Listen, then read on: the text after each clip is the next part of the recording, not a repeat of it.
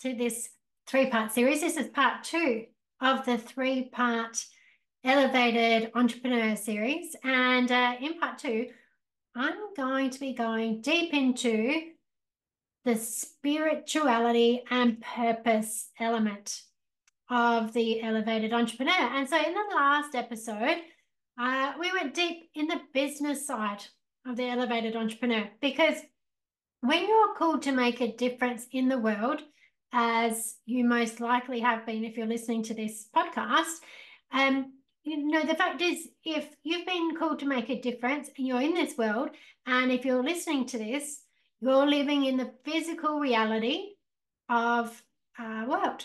Okay. And the physical reality requires for you to get your message out about how you want to change the world and help people it requires that you have a vehicle to to do that right? And that vehicle needs to have processes and systems and uh, and you know a way that's you can well processes and systems that are replicable right to start and a way that you can leverage your time and energy so that it allows you to help more people right? And then that vehicle also then provides you with income that gives you the resources for you to live in a way that supports your personal professional and spiritual growth. So, in this episode, I'm talking about the spiritual side and the spirit and purpose element of the elevated entrepreneur. Okay, so, and I'm going to tell you how it all works together because that's the key part, right? So, over the last 10 years, I've delved deep, deep, deep into understanding the spiritual aspects of myself and how I help other people. And in that journey, I've come across some people uh, who reject the idea that spirituality and business go together. And even some who believe that being spiritual means that you should have no interest in money. And although it's clear to see where that thinking comes from, when we look at the evolution of human consciousness um, through the work of Dr. Clare Graves, and I, you know, I discussed that a lot more in episode 35 and 36 around motivation of behavior. It, it doesn't really make sense, though, right? To say that this is true. If you're spiritual, you shouldn't have money, or that spirituality and business don't go together. Um, and if you feel like right now for you that there is some discomfort rising as I speak about money and spirituality being linked, hold on to your hat, my friend, because I'm going to deliver in this episode, and it's something I'm, I'm very, very passionate about. So, as I said, if you're listening to this podcast, you are in fact living in the physical reality, right? Where the way we master our physical environment is with money, right? That's the tool that we use. We use money to buy food, pay for electricity, our insurances, our clothes, our housing, our transport, gifts. Um, you know, that's how we often are charitable. You know, we donate money. That's how we pay for our holidays, our healthcare, our education, our furniture, you know, recreational experiences. Pretty much everything that we do, we use money for, right? We use money for. That's what we do in the physical reality. Now, of course, this does not mean to say that there aren't things of great value that we experience without money. Of course, there is. There's loads of things. There's love, there's connection, you know, there's all those kinds of things. But it would be much more difficult to experience those things if you had no no no money. Okay, because if you didn't have any money right now and you're living in in this reality where we are, where we everyone uses money to get their needs met, if you suddenly didn't have money, right, you would have so much focus on how you're going to be fed and housed and everything else that it would be very hard for you to be having those experiences fully that don't require money. Okay, it's very hard to to to um, experience deep, loving connections with people when you're you haven't got food on your table, right? Like that's you have to have your basic needs of living met generally to experience those other things, right? That's that's kind of given. But somewhere along the line, people started to be conditioned about money in a very negative way, right? So, and and this is the question: can people use money for negative purposes or non-spiritual purposes, right? Can people get so focused on getting money in any way possible without it being fair to the other person, right? Without it being having a spiritual purpose. Well, yes, of course they can, right? Of course they can. But what it doesn't mean is it doesn't mean that if you want money or you have money or that you make more money, it does not mean that that makes you bad, right? Of course it doesn't, right? So this is this is the complex equivalence that we have to look at. Can people use money for negative purposes? Yes. Can people use money for non-spiritual purposes? Yes. Does it mean if you have money that you're going to be non-spiritual? No. Doesn't mean that at all. Okay. It doesn't mean that at all. And, you know, I've even worked with people that say, oh, you know, well, like, you know, um, Mother Teresa had a vow of poverty.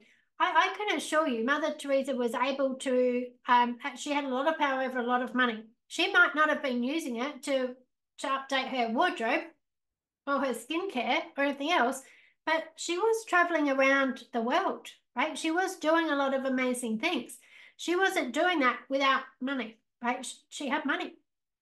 And so, you know, it's really important that we get clear on this understanding so that we can, in fact, bring spirituality in as part of our um, being this elevated entrepreneur so that our business and our purpose is connected with our spirituality, not in opposition to it.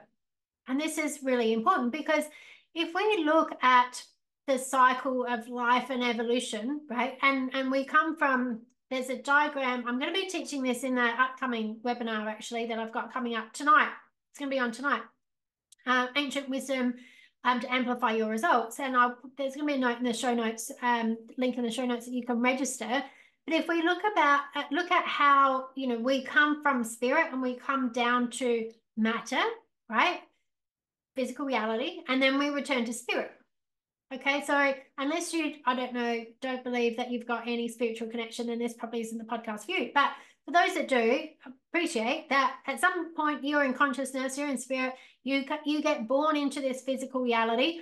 You're a um, spiritual being having a physical experience, and then at some point in time, that physical experience ends, and your consciousness or your spiritual, you know, journey continues. You go back to spirit.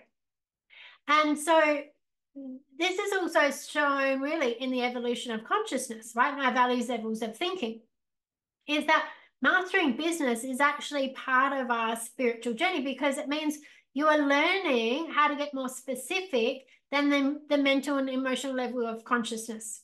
Okay, because you have the spiritual plane and you have the mental plane, you have the emotional plane, and you have the physical plane.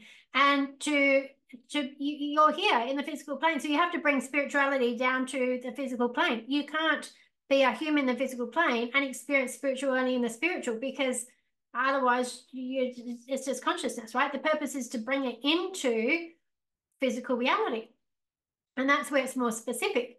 And so uh, you know spirituality is abstract you know and it gets more specific. Mental gets more specific. Emotional gets more specific. And then physical is the most specific and it's physical actions, it's physical material things. It's very specific. There's nothing abstract about, you know, your phone or your clothes. It's they're specific, right? They're actual things.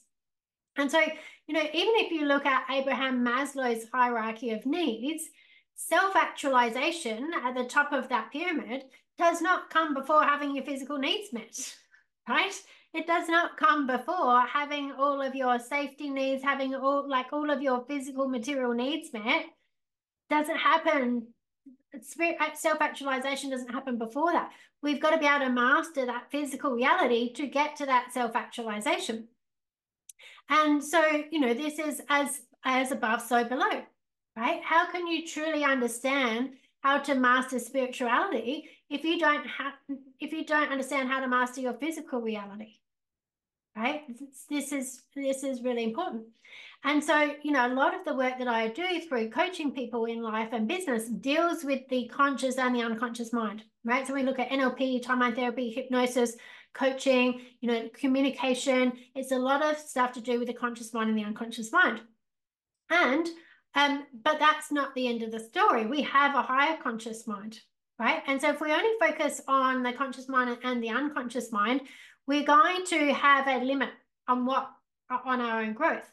Okay, so if you can limit your growth if you ignore that spirituality side of yourself, the higher conscious mind, um, and your energetic connections to self, right? Self, capital S, others, right? Your purpose. And so this is where the elevated entrepreneur comes in, right? Is when you're connected to all of these things and you're doing business, and we'll go into the mindset communication next episode, then you you create this magic spot where you're here on earth living your purpose, right? Making a positive impact on the world, helping more people. None of them go without the other. And so it's through the spiritual practices that um, I, that I've adopted. I've become aware of the way our energy and potency can be diluted and how you can actually rectify that, right? How you can call your power back. And so one of the powerful processes um, comes from the ancient Hawaiian wisdom of Huna. And many people are familiar with, you know, when we talk about ancient wisdom, and, and I know this come up a bit when I did a post about it the other day, when you talk about ancient wisdom and Hawaiian practices, and people say, oh, Ho'oponopono. So Ho'oponopono has be, be, been made very popular, um, and there's, you know, some different people that have that talk about that, and they mostly focus on the forgiveness prayer, which is, I'm sorry, please forgive me, thank you, I love you. Okay? And and so the problem though with that I, I love it and i very much learned this uh, forgiveness prayer you know some time ago. And i've used a lot it can be very powerful but there's actually much deeper connection to this and what this is actually about right?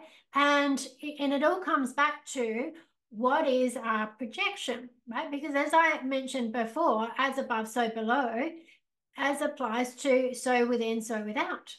Okay, so your projection of what's going on around you with others and you know what how you're perceiving the world is very much connected to what's going on inside of you.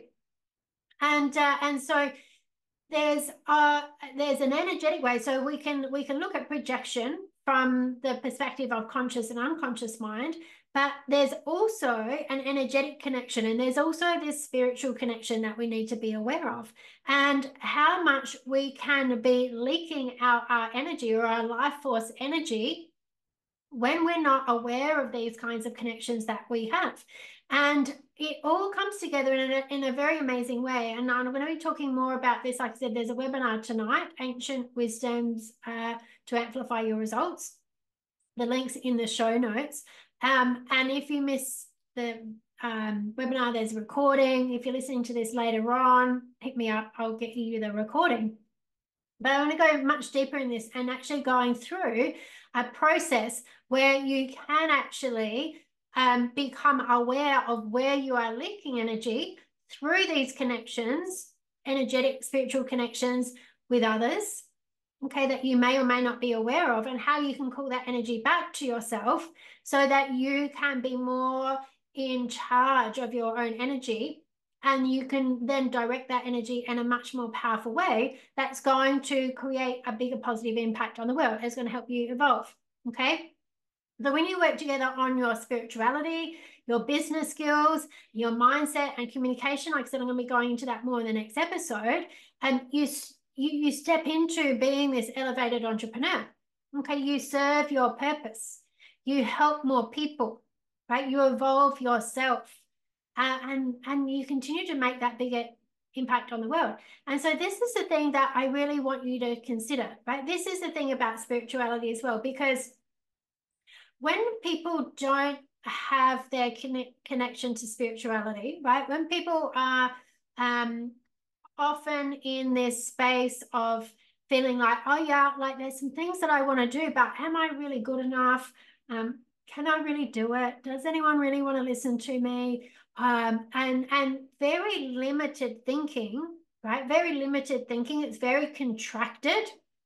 Okay. Um, it's a lot more fear based. And when we're in, like, if you look at the map of consciousness by Dr. David Hawkins and the um, the emotional scale, like there's a there's a tipping point of courage right and courage is at about 200 hertz or just over And um, and the emotions below that, when we have things like anger, fear, guilt, apathy, you know, shame, jealousy, all those kinds of things, they're all much lower frequencies. And from underneath the tipping point of courage, all those lower frequencies, when people are predominantly in those, their energy is contracted. Okay, their energy is contracted, and when they're around other people, they are draining. right? you feel drained when you're around other people. When people are contracted, they're in fear. They don't act. They they don't actualize their full potential. Right? If we think about Abraham Maslow's hierarchy of needs. These are the people that are still just trying to get their basic needs met, right? There's all this fear that they're going to, you know, be rejected or that they're going to go broke or that they're going to, you know, whatever else, right? Those low level fears. From the point of courage and above is where we become expanded in our energy, right? And that's where it moves to enlightenment and self-actualization. And that's where we have, you know, we have courage, we have happiness, we have joy, we have love, we have, you know, enlightenment, we have all of these much more uh, higher frequency emotions. And that is where we become expanded. And so when you're around people who are in those frequencies predominantly, you feel more energized. Okay. They have a greater impact on people around them, whether they're working on themselves or not. Okay. And there's how much energy we've got um, available to us and whether we are leaking our energy to the people that are draining our energy, or if we are um, clear on our boundaries and we have practices that bring in our energy, that infinite connection that we have to source energy, to consciousness, right? And we we can forever keep filling this up. And, and this is exactly how I, um, you know, I, I sometimes teach for seven days straight, right, with no days off. It's seven days, like eight, nine, ten hours a day for seven days straight. And people say, Toni, aren't you exhausted? Well, no, I'm not. Yes, I get a bit tired and I have a day off at the end, but I'm not exhausted because I am, I have the energetic boundaries, okay, with where my energy goes.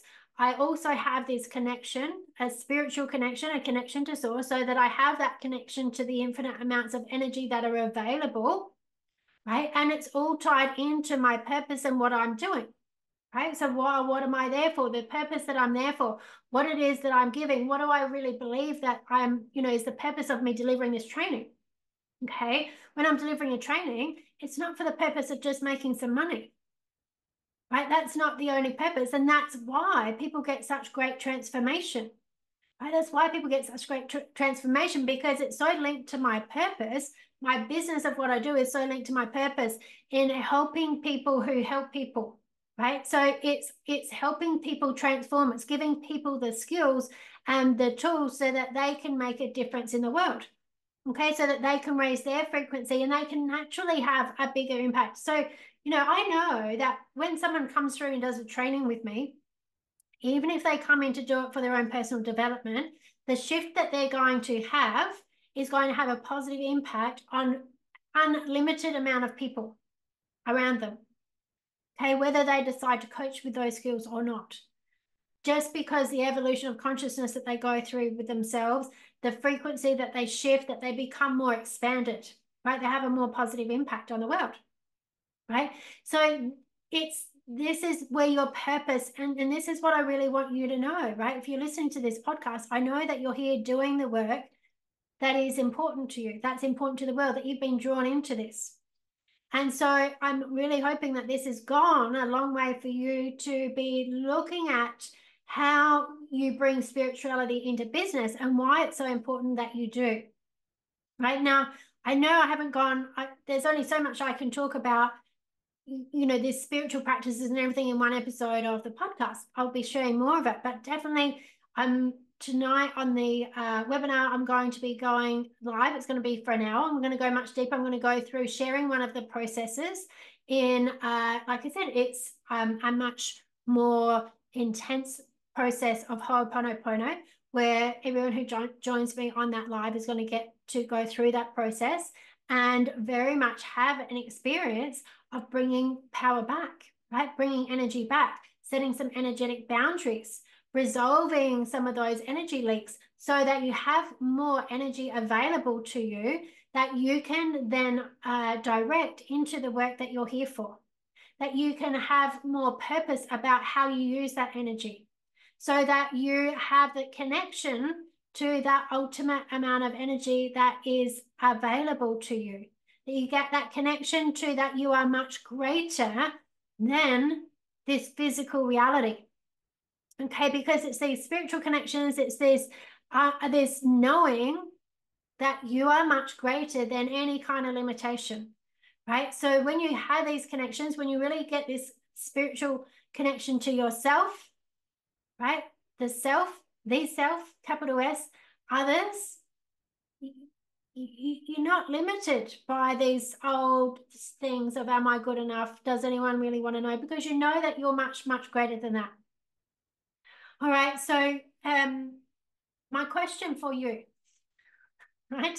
Next week, I'm going to be going into how, um, you know, the mindset and communication work ties in with the spirituality and the business for the elevated entrepreneur. But my question is for you, like, who would you be if if you were deeply connected to the ultimate truth, the unlimited truth of who you are, uh, right? That unlimited energy that's available to you. Right? Who would you be? if you if you had that connection what would you do who would you help what's the difference that it would make because it's available to you it's 100% available to you and if you're ever in doubt if you're ever doubting yourself if you're ever in a space thinking oh my god who am i can i really do this stop it and get back to your get back to yourself get back to this connection right? Get back to the connection because I can assure you in higher consciousness, in consciousness, everything is perfect. Okay. There is no, oh, how you use money or making too much money means that you're a bad person. No, none of that exists. The divine truth of who you are, you're here on earth to master this physical reality, to help evolve yourself and others. And you're here at a very, very important time. So, who would you be? What would you do? Hope I see you on the on the uh, webinar tonight.